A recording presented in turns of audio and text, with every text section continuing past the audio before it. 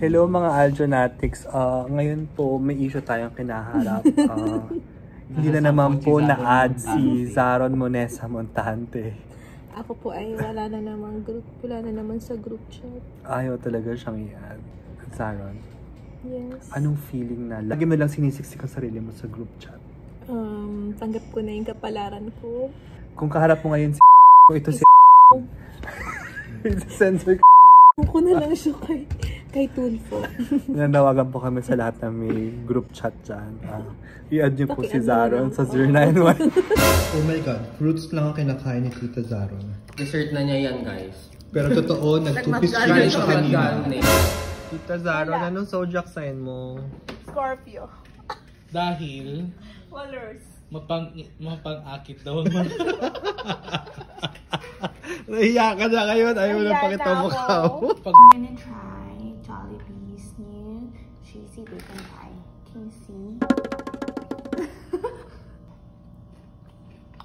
so I haven't reached the cheesy bacon part. It just tastes like any other pie, like tuna pie. Buko pie I haven't tried. We'll pursue this part so that we get to the cheesy bacon bit. Mmm, again. As you can see, oh, this is bacon pala. All along, I thought it was like yung crispy fried.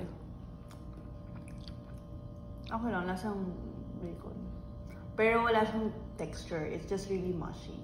So if you're very tex you're very picky about food, your food texture, won't get this kasi it's mushy lang. I wouldn't buy this.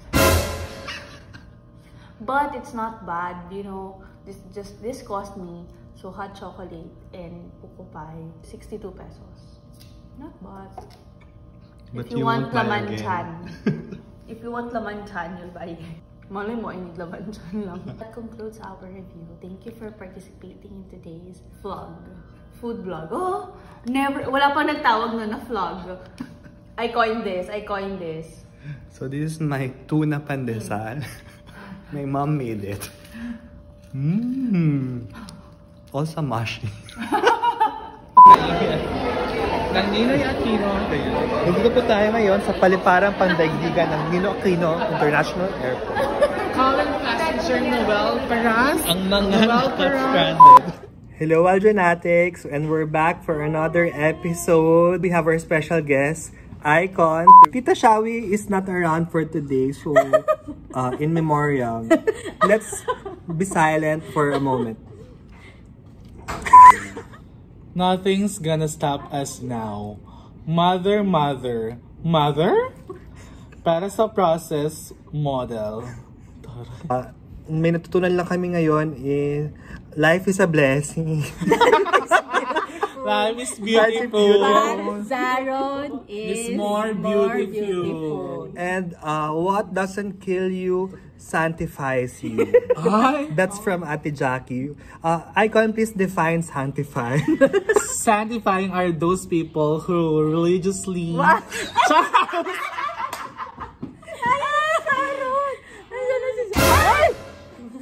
Tita Zaron, nabagsak pa yung phone niya.